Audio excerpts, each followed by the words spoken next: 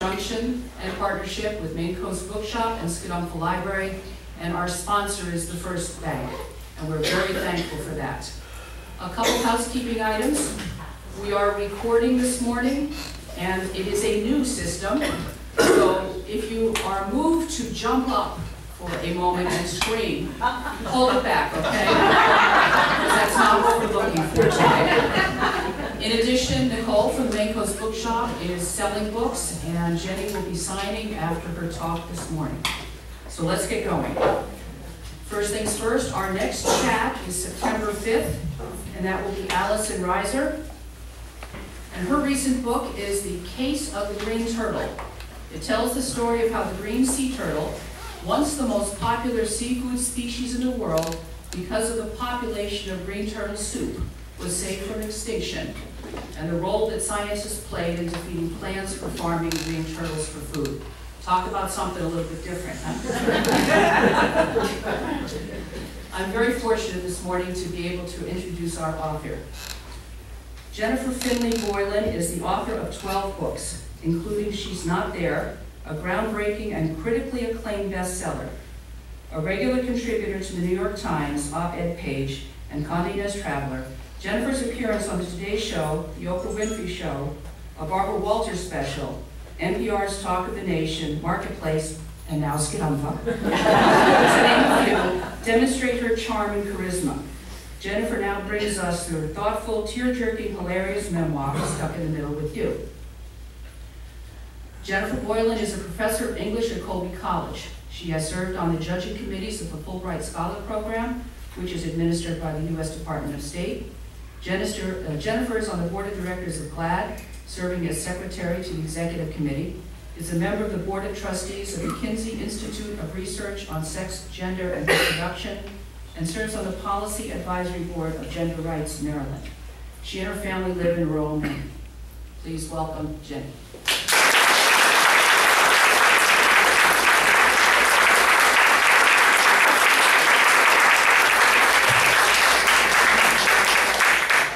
Hi, everybody. Hi. I'm so glad you're here, and I, I really just cut it right down to the last second. There's construction coming down uh, uh, um, Route 27 from, from Augusta, so it was very dramatic. And they, they had, you know, those, those guys with the stop signs who just, you know, you're like you could sit, stand there all day with that sign. I gotta go! Well, anyway, it is a great pleasure to speak with you today, and you're all very welcome. I, I thank you for coming out today. I also want to thank um, everyone who runs this program at Skidompha, um, not just for what they do to make it possible for me to speak to you, but for all the authors who come. Uh, and uh, it is um, their dedication keeps the torch of literature and literacy um, going um, in this community. And uh, as an author, I'm very, very grateful. So thank you very much. Um, I thought I would read you, um, I think I'm going to read two short things for you. Um, uh, or maybe just one, depending on, on what you're in the mood to do. It may be that you wish to have a conversation and, um, and, and talk a little bit, because issues of gender, uh, they seem to connect to everything, don't they?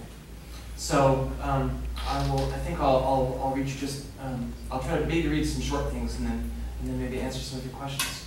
Um, it's funny. Whenever I do events like this, I often think back to an event I did um, on Martha's Vineyard. Now, some years ago, I guess. Uh, I was giving. A, I was doing a signing at a bookstore um, uh, on Martha's Vineyard, uh, and it was on a Sunday afternoon. It was a beautiful day, and uh, um, we spent the morning uh, riding our bicycles uh, along the along the coast, and um, showed up at four o'clock, which was when the, the reading was, at the bookstore where where I'd been scheduled to speak. And as some of you know, um, the vineyard is small. There are only two bookstores on the vineyard, so I showed up there, and and uh, wouldn't you know, there's the owner of the bookstore with this kind of uh, melancholy expression, and I said, "Well, what what could be could be wrong?" And she said, "Well, Jenny, wouldn't you know, they scheduled another reading at the last second at the only other bookstore on Martha's Vineyard at this exact same hour." And, of and my first thought, of course, was, you know, who's going to go to that when they can come see me? And she said, well, it is Hillary Clinton. Which, then I thought, well, um, I guess the only people who are going to come to my reading are going to be transsexuals and, and Republicans. which,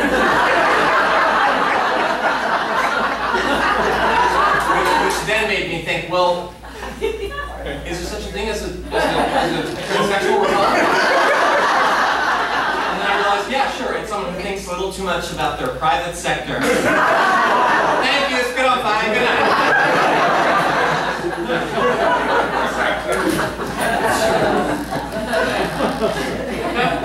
well, I've come all the way from Belgrade Lakes, Maine, to answer the question that is most frequently asked of me about trans transgender experience, which is, of course, what is Oprah really like? She's very nice. and she wears huge false eyelashes. Did you know that? She's incredible. When you, if you get right, when, like, like this far away from her, she doesn't look like Oprah at all. She looks like, you know, I don't know, the moon or something. but, uh, she's one of the, the thing about Oprah is that she, um, this is true, I think she, uh, this sounds like a setup for a joke, it's actually true. I think she, I think the, um, she manages to generate intimacy um, uh, in proportion to how far away you are from her. So the closer you get to her, the more of a stranger she seems. But if you're if you're at home, you know, 10,000 miles away, oh, my, my girlfriend. So anyway, I'm going to read you this um, piece that, um, uh, that is actually from She's Not There. Um, and uh, it, it's a short piece that I rewrote for an anthology that came out just about a year and a half ago, maybe. Um, uh, and the name of the anthology was it was it gets it gets better. Some of you may be familiar familiar with the It Gets Better project, which was um, a series of videos and stories and testimony, um, which was um, devised in order to push back against a wave of suicides that happened among uh, lesbian, gay, bisexual, transgender teenagers in the fall of 2010.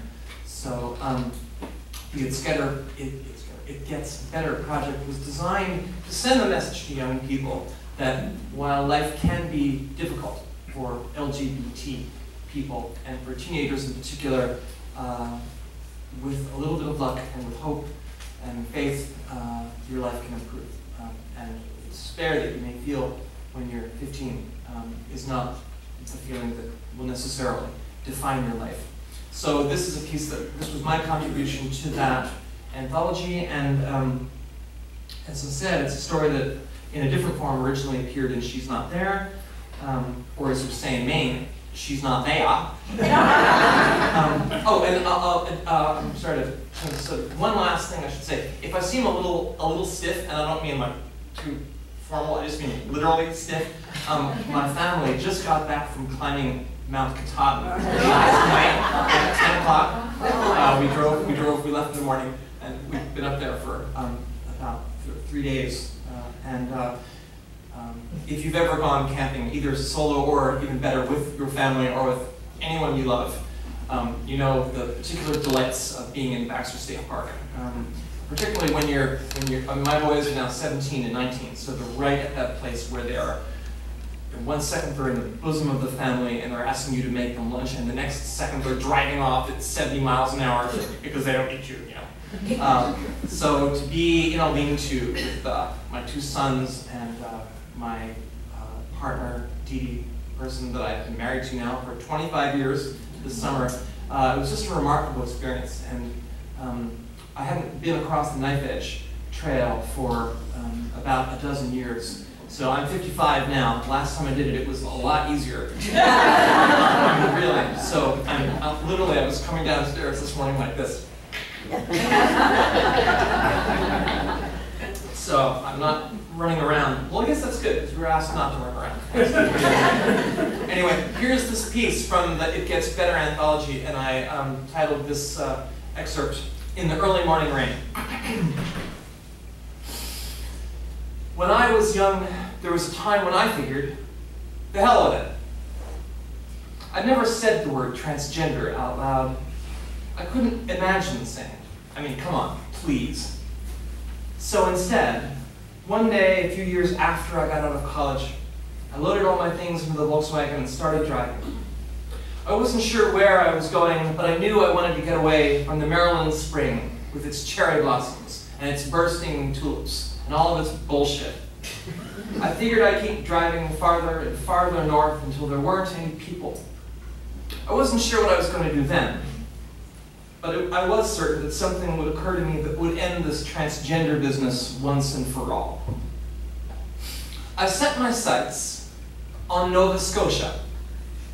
I drove to Maine and took a ferry out of Bar Harbor, back in the days when you could do that. I drove onto the SS Bluenose and stood on the deck and watched America drift away behind me, which as far as I was concerned, was just fine. There was someone walking around in a rabbit costume on the ship. He'd pose with you, and they'd snap your picture, and an hour or so later, you could purchase the photo of yourself with the rabbit as a memento of your trip to Nova Scotia. I purchased mine. It showed a sad-looking boy, I think that's a boy, with long hair, reading a book of poetry as a monkey rabbit bends over. In Nova Scotia, I drove the car east and north for a few days. When dusk came, I'd eat in a diner, and then I'd sleep either in the car or in a small tent I had in the back. There were scattered patches of snow up there, even in Maine. I kept going north until I got to Cape Breton, which is about as far away as you can get from Baltimore and still be on dry land. In Cape Breton, I hiked around the cliffs, looked at the ocean. At night, I lay in my sleeping bag by the sea as breezes shook the tent. I wrote in my journal, or read the poetry of Robert Frost, or grazed around in the modern library's great tales of horror and the supernatural. I read one up there called Oh, Whistle, and I'll come to you, my lad. In the car, I listened to the Warlocks sing In the Early Morning Rain on the tape deck. Which is a song that goes In the early morning rain, with a dollar in my hand, and an aching in my heart, and my pockets full of sand, I'm a long way from home, and I miss my loved ones so. In the early morning rain, with no place to go. I thought about this girl I knew, Dee Dee Finney. I thought about my parents. I thought about the clear, inescapable fact that I was female in spirit and how, in order to be whole, I'd have to give up on every dream I'd ever had, except one. I stayed in a motel one night that was officially closed for the season, but which the operator let me stay in for half price. I opened my suitcase and put on my bra and jeans and a blue knit, blue knit top. I combed my hair out and looked in the mirror and saw a perfectly normal looking young woman. This is so wrong, I said to myself in the mirror. This is the cause of all the trouble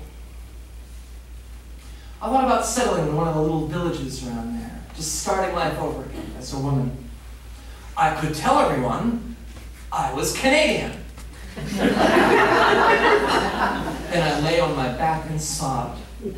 Nobody would ever believe I was Canadian. the next morning, I climbed a mountain at the far northern edge of Cape Breton Island. Climbed up to the top, trying to clear my head, but it wouldn't clear kept going up and up past the tree line, past the shrub line, until at last there was just moss.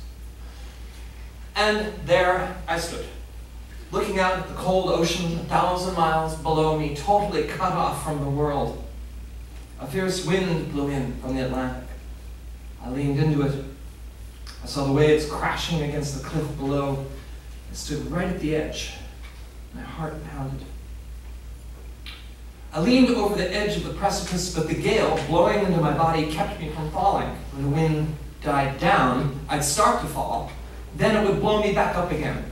I played a little game with the wind, leaning a little further over the edge each time. And then I leaned off the edge at a sharp angle, my arms held outward like wings, my body sustained only by the fierce wind, and I thought, well, this is this what you came here to do then? Let's do it then. And then, a huge blast of wind blew me backwards, and I landed on the moss. It was soft. I stared straight up at the blue sky, and I felt a presence. Are you all right? said the voice. You're going to be all right. You're going to be all right. Looking back now, I'm still not sure whose voice that was. My guardian angel? The ghost of my father? I don't know. Does it really change things all that much to give a name to the spirits that are watching out for us? Still, from this vantage point, over 25 years later, my heart tells me that that was the voice of my future self. The woman that I eventually became, a woman who, all these years later, looks more or less like the one I saw in the mirror in the motel. Looking back on that sad young man, I want to tell him it will get better. It will not always hurt the way it hurts now. The thing that right now you feel is your greatest curse will someday, against all odds, turn out to be, your greatest gift. It is hard to be gay or lesbian. To be trans can be even harder. There have been plenty of times when I've lost hope. But in the years since I heard that voice saying, You're going to be all right, I found, to my surprise, most people have treated me with love. Some of the people I most expected to lose when I came out as transgender turned out to be loving and compassionate and kind. I can't tell you how to get here from there. You have to figure that out for yourself.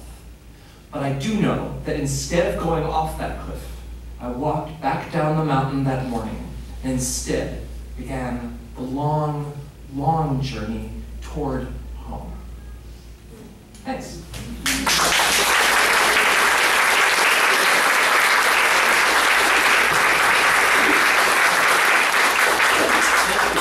Um, so, three, three be the things, what's it, uh, what's in the Dorothy Parker poem? Three be the things I shall never attain, envy, content, and sufficient champagne.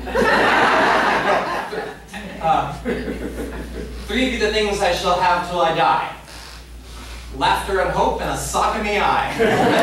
no, sorry.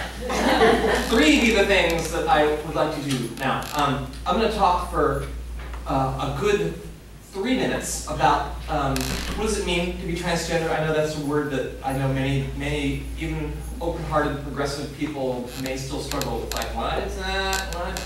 And then um, maybe I'll ask a few questions. And um, and then I'd like to end with, I, I, have a short piece from the new book, and it's really super short, shorter than the thing I just read. And um, to be done no later than when the big hand is on the nine.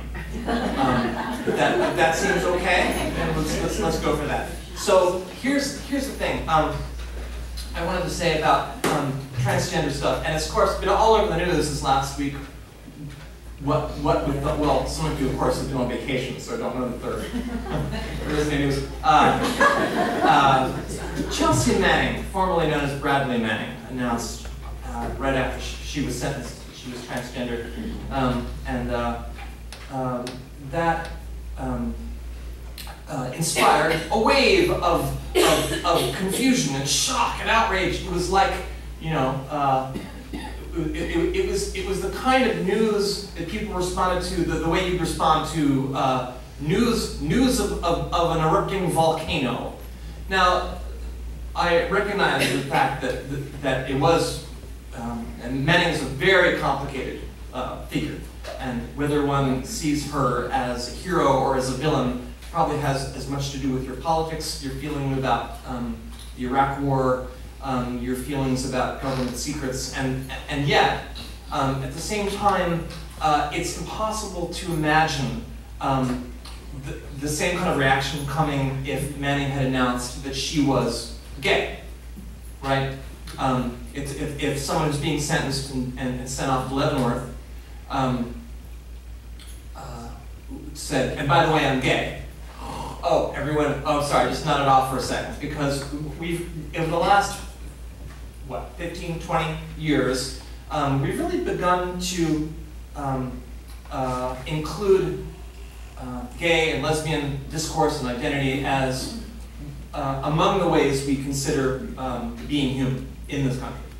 Being transgender is, is not like that yet, and it's still considered shocking. And in fact, on the news, it was possible for um, people who know nothing about this condition to denounce it, to say that, um, you know, well, anyway, let's move away from Manning for a second. What I want to leave you with just um, at the end of this much less entertaining monologue than the story that came um, uh, is, is this, which is a sense of what, when we say the word transgender, what does that even mean?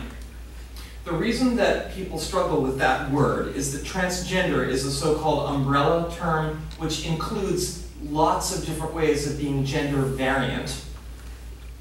There's a phrase for you, gender variant. It always, it always, it always reminds me of um, Yosemite Sam saying, saying gender varmint. gender variant. Um, so, in other words, it, transgender doesn't mean any one thing. Transgender can mean a bunch of different things, and I want to say real quickly three or four of the different things that it can mean. So, transgender includes one kind of being transgender is a transsexual. That's me. Transsexuals come in two flavors, M to F and F to M. Um, people who begin their lives as men who have a sense, well, back up. So a transsexual is someone who has a lifelong sense of him or herself as belonging physically to um, the sex other than the one they were born into. And there's very good evidence, both medical, well, medical and neurological, uh, that suggests that this is this really is a physical condition that you were born with. It is it is um, uh, excuse me. Um, oh, I'm weeping. Um, uh, the truth, oh, the truth does that to me. um, and, and to be specific, it has to do with the structure in the hypothalamus. If you want to talk dirty, it's the bed nucleus of the stria terminalis of the hypothalamus, which is pretty good for an English teacher, right? which is the seat of the endocrine system in the body, which is where hormones are regulated, and there seems to be some evidence that this structure um, takes on a different shape in about the sixth week of pregnancy, um, uh, in, in, in, when the, the fetus is, is, still in utero.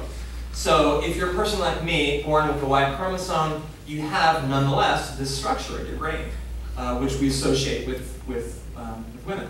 So what is it like to grow up with that structure in your brain? Weird. And, and, and it, it's very hard to put your finger on it, but it is a, a, a completely, um, there is a sense of yourself not being wired correctly to your own body, to the body that you're in. And if that sounds really weird to you, you're right. It is weird. But because it's weird doesn't mean it doesn't exist. And it doesn't mean it's not real. And it doesn't mean that if someone has the sense of themselves that they're crazy. It means that they are different from you. And that what we should be in the business of in this country is be in the business of embracing people who are different from ourselves, including people who have this very radically different sense of themselves um, than people who are not transgender have.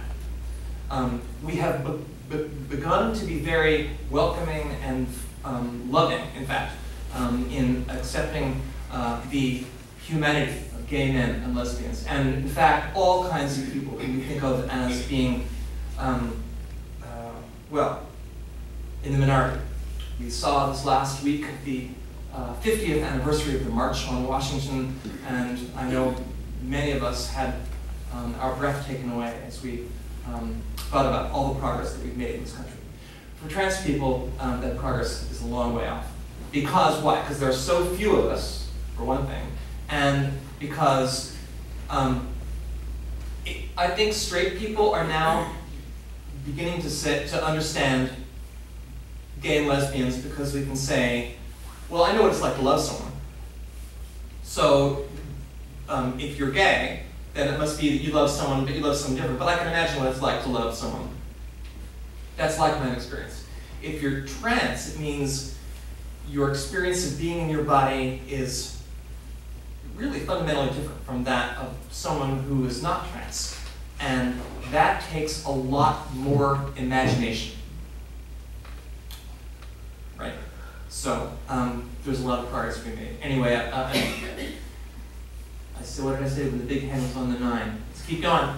So, so one, one way of being transgender is to be a transsexual. That is someone like me. And those are the people who you associate with someone who changes sex physically, if you're lucky, through the intervention of the medical community, through hormones, through um, psychologists, through surgeons, through nice clerks at the large size shoe store.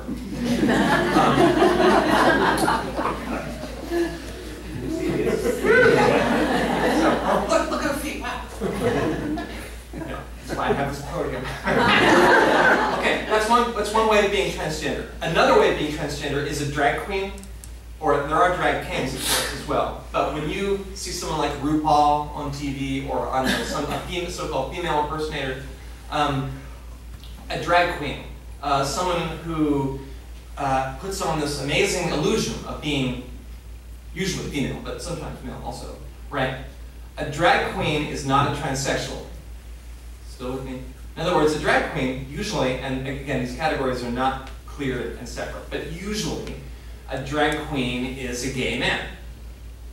So if you're a gay man, you may have the ability to be a really fabulous Liza Minnelli or Judy Garland. But if you're, I'm about to say the word penis, so if you don't want to hear that, cover your ears. if you're a gay man, um, your penis is something that is a source of pleasure to you. And even though you can put on this theatrical sense of yourself as female, getting a vagina is not necessarily on your to-do list. right? I, am I'm, I'm, making, I'm making a joke out of this, but it's a very important distinction. So if you see some, a, a beautiful woman who is physically, you know to be physically male, like RuPaul on TV, that's not a transsexual. That's not someone like me. Still with me? Another kind of being transgender is a crossdresser. A, um, and a crossdresser is usually a straight man who dresses as a woman uh, for, well, for, for a variety of reasons. Um, one reason is it's fun. Another reason is it can be relaxing. It can be part of. It can be part of a, uh, a, a fantasy life, fantasy experience. Um, sometimes there's a sexual component to that, but a crossdresser does not necessarily want to become a woman. And a crossdresser, usually straight, usually married, usually does it in secret because he feels that people will laugh at him or be creeped out by it. Um, that person is not a drag queen, is not a gay man. Still with me? All right, then there's a, a one last kind of being uh, transgender, so-called genderqueer people. That's one word, genderqueer. Um, I often see this among young people, um, and these are often people who just want to reject the idea of a gender binary um, at all. People who want to embrace a kind of fluid, androgynous, um, sometimes genderless existence, and sometimes this is connected to a political um, identity as well.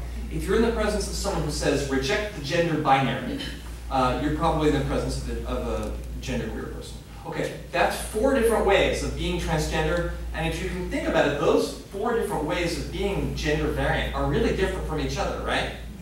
So, this is why trans issues are so frustrating and so hard for well, for, for, for, for many of you, for people who wish to be our allies, who wish to help us, because there's not any one way of being gender variant, and um, in fact, the multiplicity of ways of um, experiencing gender and performing gender can be so different that um, uh, people can kind of fight over what it is we're talking about in the first place.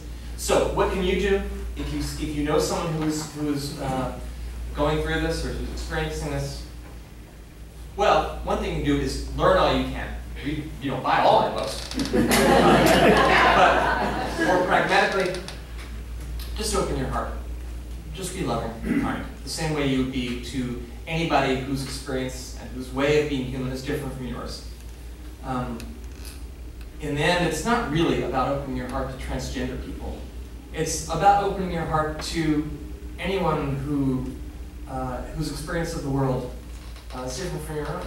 You know, you spend most of your life with people who are not you. At least that's been my experience. um, and people who are not me say these things that I would never have come up with. They've known and seen things that I can't imagine. So what can you do but ask people questions? Listen, ask them to tell you their stories. Um, the same way you would to anyone uh, whose um, humanity you want to learn about, whose experience of life you want to embrace. Because um, that makes us larger people as well, right? It lifts, it lifts up our own souls. Um, the more stories that we know, the more of humanity we understand, the bigger our hearts are, and the more compassion we can have. And how could anybody be against that? All right, we've got uh, now about, let's, let's call three minutes for questions. there we go, start. What's Oprah really like? question was, for, for, those of our, for those of our viewers at home, the question was, what's Oprah really like? Um, I had a mixed experience on Oprah. Um, so, on the one hand, uh, um, she was skeptical. Um, she was um, um, suspicious and wary, the way people in the press often are. There's a way in which you can treat people who are, who are transgender on TV that you would never treat um, anyone else. It's perfectly okay to have um, prejudice and um, suspicion of trans people as if some, as if we're up to something, as if we're really just crazy. Well, and maybe people can believe that. They want to believe that. That's fine. But I, I can't open their hearts if, I, if they just think I'm crazy. So um, she, she said I was selfish. Um, she, uh, um, she kept me on a very short leash. Um, she, um, she wouldn't let me be funny. She would hardly let me get a word in edgewise, which you can imagine how I felt about that. on the other hand, it was her show. so I felt a little bit like um, I, I, was, I, was, I was kept in a very small box. So I was, I was restless with that. On the other hand, made my book a bestseller in one day. you know, there's something called an Amazon ranking. You know, that on Amazon they take every book that's sold that they sell in the country. They don't they don't split it into you know fiction It's just you know uh, you know uh, uh, Fifty Shades of Grey is number one and how to build your own block of wood is number you know, three million. so on the day of, on, on, the morning I was on Oprah, I was on uh, the book was number um, four hundred thousand, and that afternoon it was number eleven.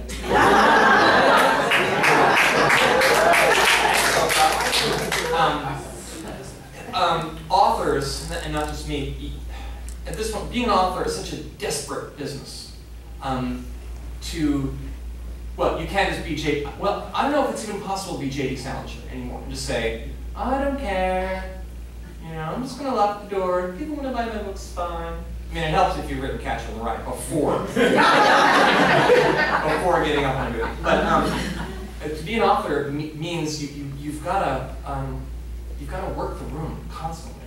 Um, and um, for me, it's sometimes um, discouraging. I mean, some of the things, I mean, you know, the, some of the shows I've had to be on. You know, one time I was on, I forget what the name of it, but it was something like, you know, Benito and Adolph's Morning Drive. you know, and where they just made fun of me, you know. And uh, well, I can take care of myself, but um, um, this is it, it's part of um, to be an author now means not only to write the book, it means you have to talk about the book, and many of us are not designed to talk about our work. Many of us become authors in the first place because we can do it, you know, in in a room Authors are not necessarily gregarious public people. I mean, I am because I've, I've spent a lifetime in the classroom and I have, you know, 25 years at Colby College um, uh, to my to my record. Which, oh, thank God, right? 25 years this summer, this August, I, I, I arrived in uh, Fairfield, Maine. Um, uh, to begin what I thought was a one-year job. I thought, well, Maine, I'll go there for a year and get the hell out of there. and uh, it, was, it was after after um, a- after getting married. It was the luck, it was the second luckiest thing that happened, happened to me in my life. Uh, let's see, another another question. Oh, so many questions. Do you want to go past quarter of? Yeah. Are you sure? Yeah. You don't know, uh, I can take a break, I'll take a break a quarter of, and if you've got to go, or if it's just, you don't want to be sitting in these chairs any more than 45 minutes, which I understand. I wouldn't want to listen to me this long. If you have to go, you have to go, so we'll just take a little break then, but I'll, I'm- I'll, I'll stay here till noon if you want. Oh my God, she said noon, ah! All right, so, uh, uh, I'll go right here. Um, I'm with Out As I Wanna Be, which supports lesbian, gay, bisexual, transgender, and question youth here in the Mid-Coast area. So we cover this area. We have. uh, What is your name? Jean Dooley, I'm the executive director. Jean, thank you for all you do. Well, thank you for coming and speaking, because I think. This I'm thanking Jean Dooley. We have, we have several youth, we have kids from Lincoln, Knox, and Waldo, and we have several youth who are in transition right now. Um, and I'm wondering, as having been a teenager, um, experiencing this, and, you know, being in, being a parent also, can you tell, give some guidance to us as adults and role models, um, in our community on how to support these kids? The question is, how do we support um, transgender youth who are coming out, going through transition, and what can adults do?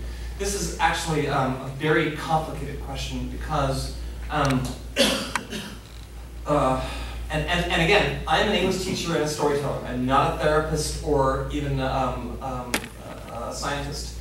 Um, so uh, I, I know a lot about this topic, but, but in terms, particularly in terms of counseling transgender youth, um, uh, as Walter White would say, tread lightly. Um, oh, look at that. Yeah, if there was someone under 20 in this room, they'd know a Breaking Bad reference. so. Well, But we'll just keep going. Uh, By the way, I'm not in that group either, so. Um, Well, uh, and I hate to give this advice because people hate my advice, right? My advice as a teacher and a parent, do your homework. Um, the, being transgender is hard in this country, in, in all countries. It's, it's not as hard as it was in the 70s when I was growing up, but it's still difficult. Um, you probably don't need to tell young people that to come out as trans, which, uh, you know, or gay or anything else means, means that you're going to be swimming upstream for a lot of your life. So, how can we help people who are going to be um, uh, occasionally and sometimes frequently marginalized by the culture? Education, knowledge, wisdom. Um, those, because this is America, the great equalizer is education. Um, so, um, if you want to, you, uh, some of you may be old enough to remember Bob Dylan. Dylan says, to, to, to live outside the law, you must be honest. right? That's the God's honest truth. Um, if you're going to break the rules of this of the culture, or seem to break the rules, uh, you have to do so um, not only from a position of honesty, but from a position of knowledge. So, both you- can encourage the young person to do this, and you can do this yourself. Read everything. So, starting, of course, with my books, and then, and then um, books by other good, are good transgender writers and other writers about gender.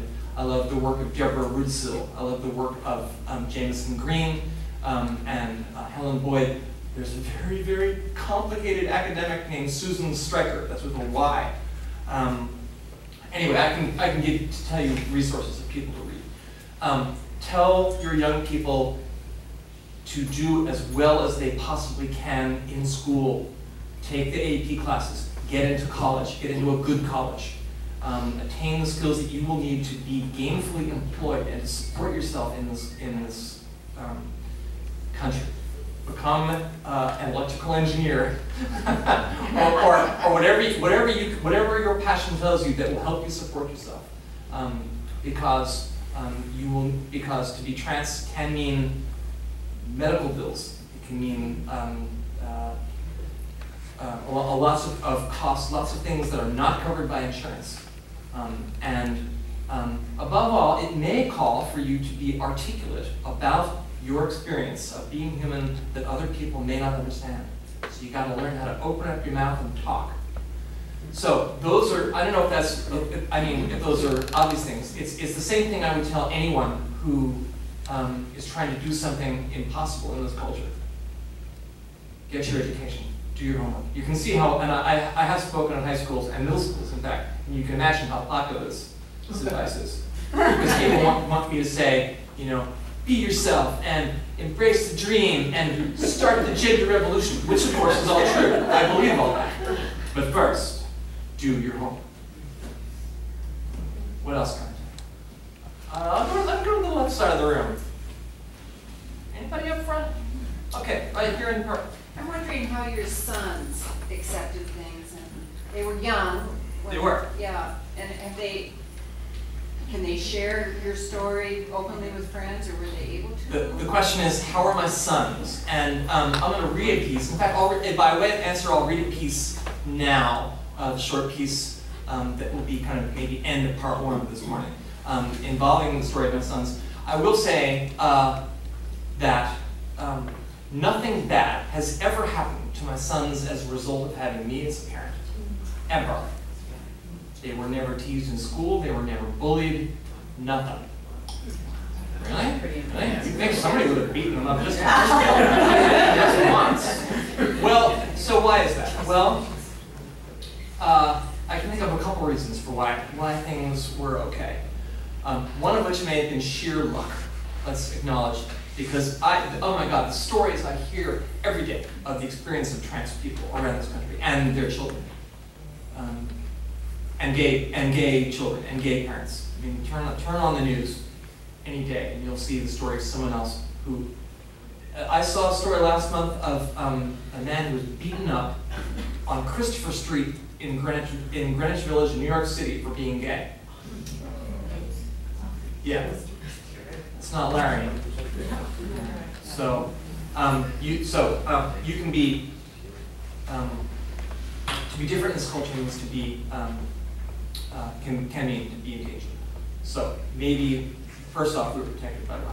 Secondly, though, if we had anything to do with it, um, for one thing, for one thing, we live in the state of Maine. Now, Maine is not exactly Northampton, Massachusetts, or Key West, um, but Mainers respect each other's privacy. There is a what, did Mark Twain say? Two people can keep a secret, if one of them is dead. so um, there's a way in which I think I was protected by being so so out and so open. Um, I'll read this little short piece from the end of the new book. Um, if I can get this device to work. Um, and uh, this really is uh, just a short little thing, and it's the very last piece in the book. Um,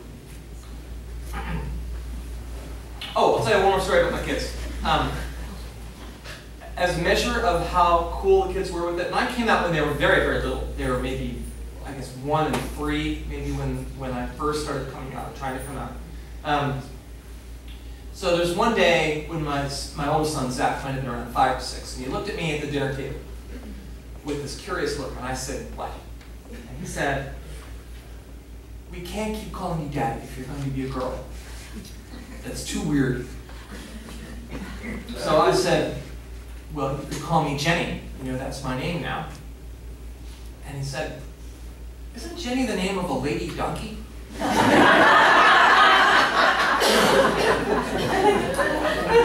Trying not to be hurt, I said, well, what, what do you want to call me? And it took him about three seconds to say, um, well, we could call you Maddie. Well, Maddie's, and that could be like, that's like half mommy, half daddy. Plus, I know a girl at school named Maddie, and she's nice. and then his little brother said, or, or, or Dommy. so,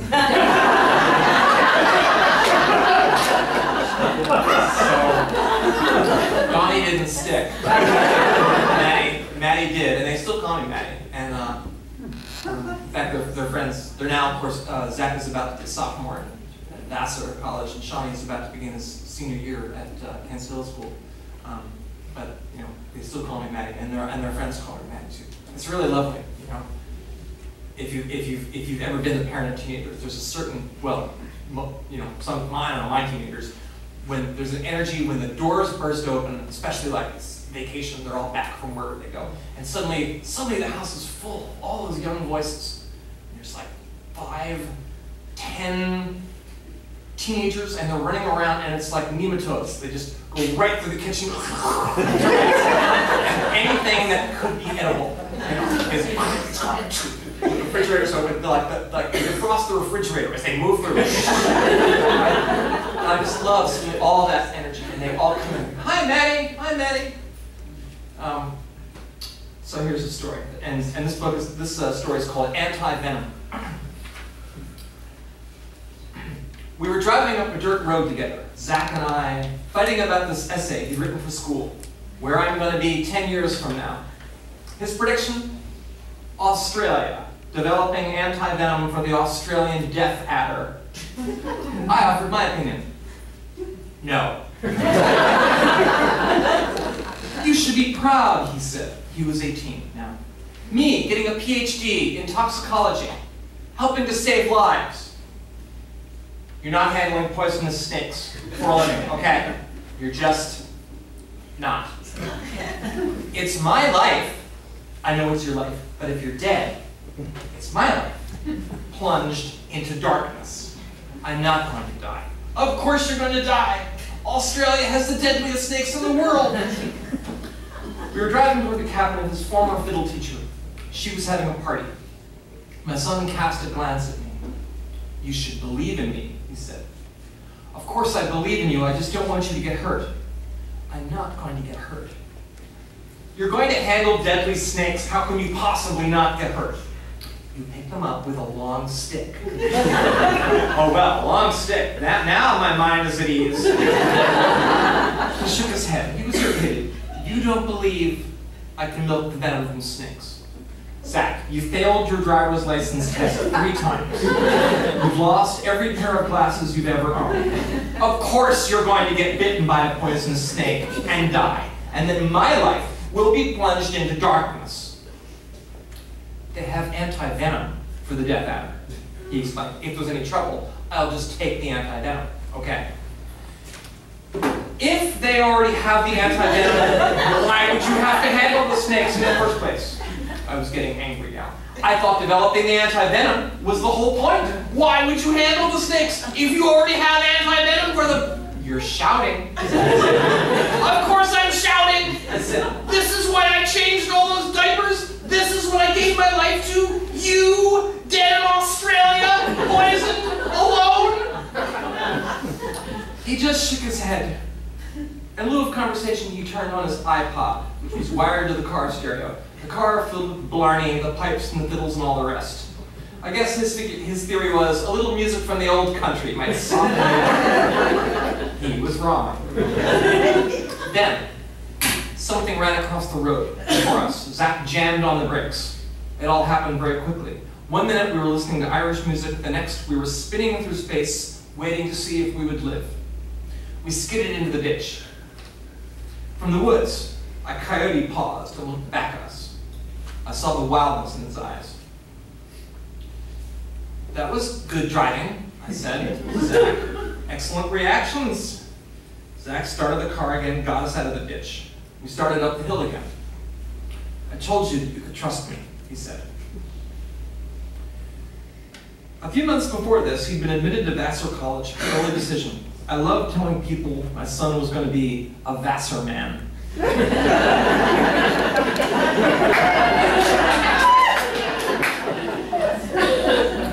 My other son was in South Africa. He'd been accepted as an exchange student for the last third of his sophomore year at a school in Cape Town. A month earlier, we'd taken him to Logan Airport and loaded the 15-year-old onto the plane. Please be careful, we'd said. He gave us a sly grin. I got it, he said, then walked off toward Africa without his mother's. What did he do in South Africa by way of being careful? He went bungee jumping and skydiving and rock climbing and shark cage diving. now the sun was sinking toward the ridge to my right. The long, shining mirror of Long Pond was visible in the valley.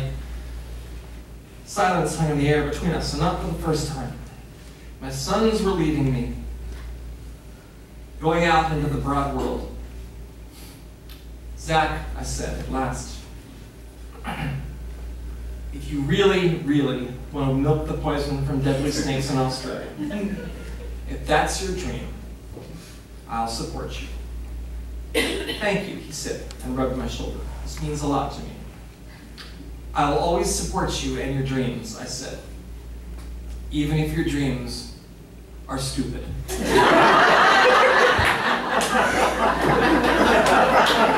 My throat closed up and the tears rolled down. Of course, if it was the stupidity of dreams we were considering, I was one to talk. I mean, please, I thought of the hours I'd spent at Zach's age lying in bed, staring at the ceiling, imagining a world a whole lot farther away than Australia. We pulled up at his violin teacher's house right at the top of Buttermilk Hill in Belgrade. The pastures of her farm were all around us, and beyond that, the mountains and the lakes. Her husband's single-engine plane sat at the edge of a long field. A windsock dangled from a pole just beyond the field of tomatoes and cabbages. From the cabin came the sound of skirling mandolins and fiddles. My son looked at me, incredulous. You're crying now, he said, about me getting bitten by an imaginary snake in Australia. In the future, you're actually crying. A little? I wiped the tears away and we got out of the car. The sun was almost gone now, sinking behind the mountains. We walked toward the cabin. The music grew louder. His teacher was playing a reel, a farewell to Eridan.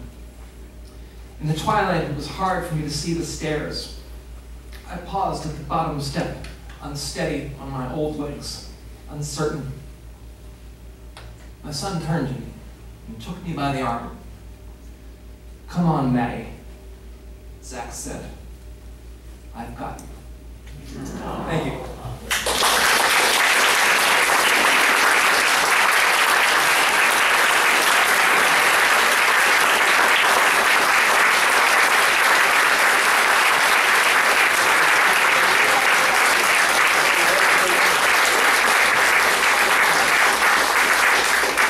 Um, I, I said I'd stay forever, but I think this is probably like a good, just a good spot. I'll look over to my sponsors for saying, yeah. that's pretty good." Um, uh, so again, um, thank you for all that you do. Um, I guess uh, where am I going to sign books? Just over there. I guess these books for sale. This is so. This is um, she's not there. Um, that's the um, that's the, the first one. There's a second one, which is I'm Looking Through You, which we didn't talk about. This is about growing up in a haunted house, and uh, um, that one might be for sale too. And then the new one is called Stuck in the Middle with You, um, about the differences between motherhood and fatherhood. Um, so um, I'll go over there. I'll thank you all for coming again, and I'll just say um, what, a, what a great pleasure it is to speak with you, and um, encourage you to, uh, well, just to encourage you, just to wish you good luck with uh, every adventure that comes your way. I always think, you know, you know, if I can do this, you know, you guys can do anything.